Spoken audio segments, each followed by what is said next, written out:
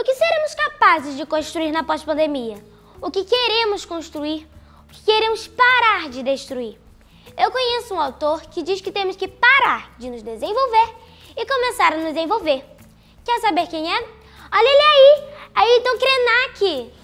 Tenho uma alegria imensa de poder me dirigir à meninada, né? Assim, essa turminha que está nessas idades de 5, 6, 8 anos.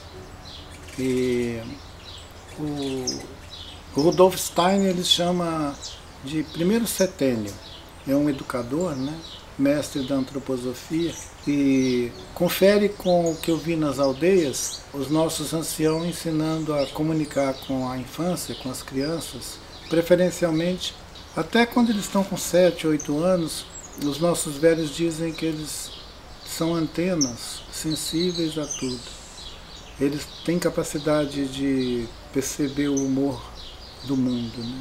especialmente o humor dos adultos, que poda muito a criatividade das crianças. Tem um provérbio chinês que diz que a inteligência do humano silencia a sabedoria das formigas.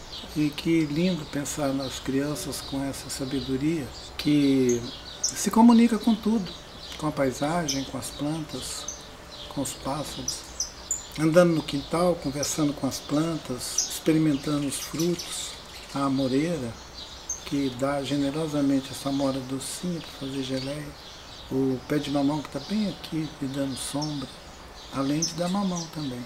É a nossa mãe terra próspera, dando, dando, dando coisas para gente, a gente precisava aprender a andar perto dela, suavemente, e aprender tudo dela. Na primeira infância deveria ser isso.